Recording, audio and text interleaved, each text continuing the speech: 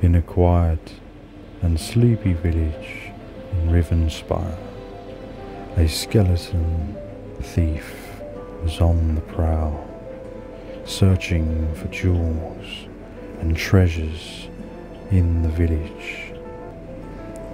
He went in the night, silent as a cat, around to the houses that may promise some stolen goods.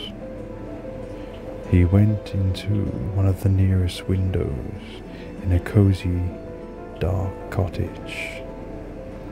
He went through the window as best he could, slipping about the shadows here and there. He managed to grasp his hand on some fine jewellery until a loud shriek and the guards were summoned.